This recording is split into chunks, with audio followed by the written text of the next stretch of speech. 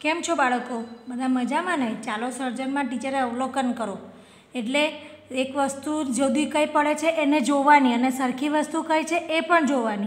એનામાં આપણે જોડતા શીખી ગયા અને ટીચરે એનામાં કલર પૂરતા પણ શીખવાડ્યું કે જે વસ્તુ સરખી જોવાય એનામાં કલર કરવાનું. બરાબર ને? હવે આજે આપણે શું જોવાના છે? એક જોડ બનાવવાની છે. એટલે તમારે ખબર તમારે સરખું જોવાની છે કે આનામાં આની જોડે કઈ? તમે બોલ જોડે બેટ જોઈએ રમવા માટે. પછી બીજું ફૂલ રેકેટ જોડે રેકેટ તો હોય, પણ એની જોડે ફૂલ જોઈએ. એ રીતે જો તમે થાળી, વાડકી ગ્લાસ લઈને તો થાળી એકલી ના હોય, એની જોડે વાડકી પણ જોઈએ ને દાળ લેવા માટે. એ રીતે આપણે અહીંયા બધી વસ્તુઓ છે.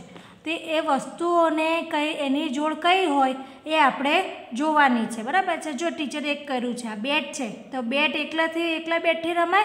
ના. બોલ બેટ રમવા માટે બોલ પણ જોઈએ, એટલે બેટને બોલ જોડે જોડું. બરાબર છે ને? પછી આ શેનું ચિત્ર છે? જોઈએ છે તમારે? હોળી છે. હોળી કેનામાં તરે? તમે જોયે? હોળી કેનામાં હોય? દરિયામાં, સમુદ્રમાં, નદીમાં હોય ને? તો આ નદી છે. જોયે છે ને? તો હોળી કઈ જાય? નદીમાં. એટલે આપણે એને નદી જોડે જોડી દીધું.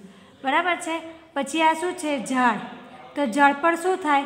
ફૂલ થાય, પા ફળ થાય, એ બધું ઝાડ પર થાય ને? એના પાંદડા હોય. તો અહીંયા તમારે ફળનું દેખાય છે ચિત્ર? આ રહ્યું. સફરજનનું ચિત્ર છે ને, એટલે કેનું ઝાડ છે? સફરજનનું ઝાડ. તો આપણે આ ઝાડને સફરજન જોડે જોડીએ. બરાબર ને? પછી આ શું છે? આજકાલ તો ઠંડીમાં બધા જ પગમાં પહેરતા હશે. શું છે? મોજા. તો મોજા એકલા પહેરાય? મોજા પહેર્યા પછી આપણે શું પહેરવા જોઈએ? આપ તમે બહાર જાઓ. તો મોજા પહેરે, એકલા મોજા પહેરીને જતા રહો. ના પગમાં શું જોઈએ? બૂટ જોઈએ કે મોજડી જોઈએ ને?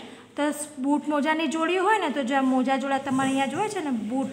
તો આપણે આ મોજાને બૂટ જોડે જોઈએ પછી આ કેનું ચિત્ર છે? ગધેડાનું. અહીંયા એનું બચ્ચું છે. તો એનું બચ્ચું છે તો ગધેડા કઈ છે? ગધેડાનું બચ્ચું છે. અહીંયા તો ગધેડો અહીંયા જોવાનું તો બધા જોડે આપણે જોડી લીધું. આ એક ગધેડો બાકી રહી ગયો છે. તો એને એની જોડે જોડ્યું તો આ રીતે તમે કોઈ પણ બીજા ચિત્ર તમારી મમ્મીને કે દોરી આપે એવું જરૂરી નથી કે ટીચરે જે ચિત્ર બતાવે એ જ ચિત્ર. એની જોડે તમારે જોવાનું એટલે એની જોડી બનાવવાની છે. કે આની જોડી આ હોય, આની જોડી આ હોય. બરાબર ને? ઝાડ જોડે ફળ હોય કે ફૂલ પણ હોય. પછી બીજું શું હોય તમારે યાદ આવે છે બીજું? બીજું કોઈ વસ્તુ યાદ આવે છે? તમે શાક, બટાકાનું શાક બનાવો તો કોઈ પણ શાક જોડે બટાકા ભેગા થઈ શકે. બરાબર ને? એ રીતે તમારે અલગ અલગ વસ્તુની જોડી બનાવવાની છે. તમારી મમ્મીને કે જો હવે ચિત્ર દોરી આપે ને તમારે એને જોડી બનાવવાની. આપણે આવતી વિડીયોમાં ફરી મળીશું. આવજો.